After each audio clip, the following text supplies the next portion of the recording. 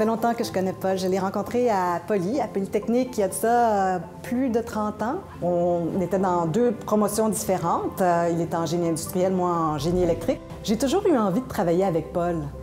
C'est un gars qui euh, écoute énormément, est, très sérieux, très attentif, très rationnel. En fait, c'est un peu l'archétype de l'ingénieur, même que quand on le présente à des gens qui ne le connaissent pas, on commence toujours par dire Paul, c'est un ingénieur. C'est un gars pragmatique, c'est un gars qui va étudier un dossier avec tous les éléments nécessaires pour prendre sa position.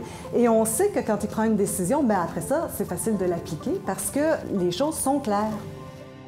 Paul, c'est quelqu'un qui euh, performe énormément bien au niveau professionnel, mais c'est quelqu'un qui est euh, très présent pour sa famille. Je dirais que c'est quelqu'un qui a beaucoup d'implications, mais qui réussit à manœuvrer à travers ça, à offrir beaucoup en tant que personne.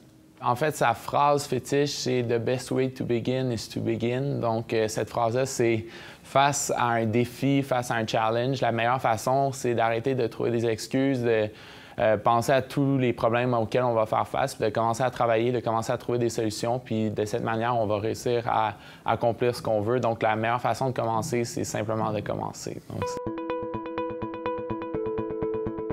On appelait ça l'effet Paul quand il est arrivé après un an, parce que, ou l'effet Lepage, parce que les employés ont été beaucoup plus mobilisés très, très rapidement après son arrivée.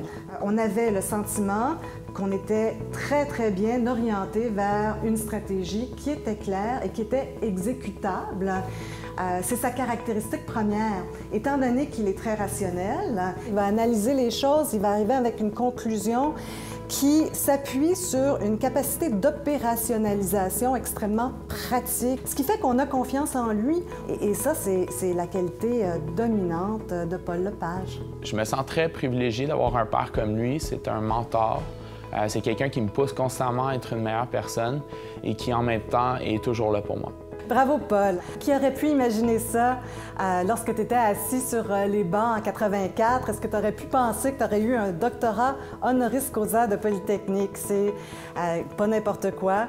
Bravo, félicitations. Et puis, je suis vraiment très, très fière de faire partie de ton équipe. Félicitations, Paul, pour cet honneur bien mérité.